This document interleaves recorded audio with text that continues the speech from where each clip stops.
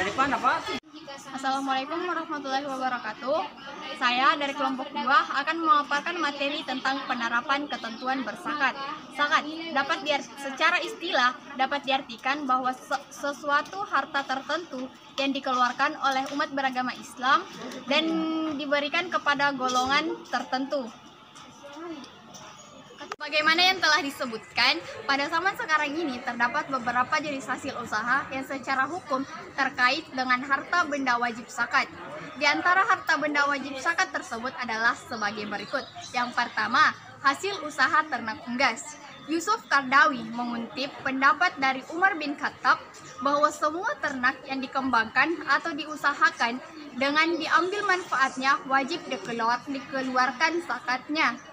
Hal ini dianalogikan dianalogikan pada zakat perdagangan ataupun zakat emas dan perak, yaitu nisabnya senilai 85 gram emas dan kadar kewajibannya sebesar zakatnya sebesar 2,5 persen. Yang dimaksud diambil manfaatnya, misalnya ayam pedaging yang dimanfaatkan dagingnya atau ayam petelur yang dimanfaatkan telurnya. Yang kedua adalah hasil usaha perkebunan karet dan lain-lain. Jumlah ulama berkesim- berkesimpulan bahwa setiap tanaman apa pun yang memenuhi nisab maka wajib dikeluarkan zakatnya. Termasuk di dalamnya adalah tanaman karet, kapas, dan sebagainya dengan nisab sebesar 5 awishak atau kurang lebih 633 kg sedangkan kadar zakatnya 5% jika menggunakan irigasi dengan biaya atau 10% jika tidak menggunakan biaya irigasi.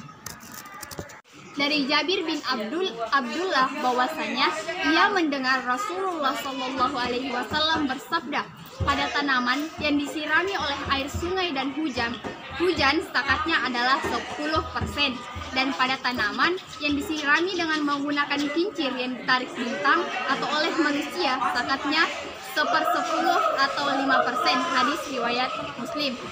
Para ulama juga berpendapat apabila hasil tanaman tersebut merupakan komoditas perdagangan, maka perhitungan zakatnya setelah hasil tanaman itu dijual.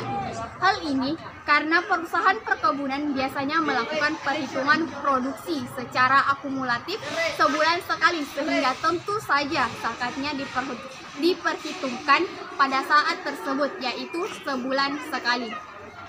3. Hasil profit dari koperasi terdapat beberapa koperasi yang terbebas dari bunga. Koperasi tersebut menggerakkan pro- produk bank syariah seperti tabungan wadiah atau dalam ben- atau dalam bentuk deposit wadiah. Koperasi jenis ini dapat memberikan profit kepada anggotanya dalam kadar tertentu berdasarkan jumlah tertentu dari tabungan atau simpanan anggotanya. Hasil deposit di antara persyaratan kekayaan yang wajib dikeluarkan zakatnya di samping mencapai nisab adalah an- adalah nama atau berkembang. Maksudnya harta itu berkembang dari waktu ke waktu serta memberikan penghasilan dan penghasilan dan pemasukan baik dengan cara diolah atau diusahakan sendiri. Selanjutnya, yang kelima, zakat profesi.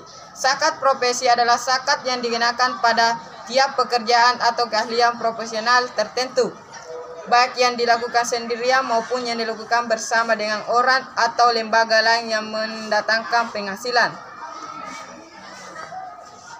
Yang keenam, zakat gaji pegawai. Dalam menentukan nasib gaji pegawai, pendapat ulama terbagi menjadi dua. Yang pertama, penghasilan satu tahun senilai dengan 85 gram emas.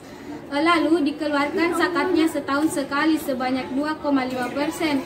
Eh, Kedua, dianalogikan eh, pada zakat tanaman yang senilai dengan 653 per eh, kilogram dan dikeluarkan setiap kali per per tahun atau dalam hal ini setiap kali menerima penghasilan atau gaji sebanyak 2,5 persen.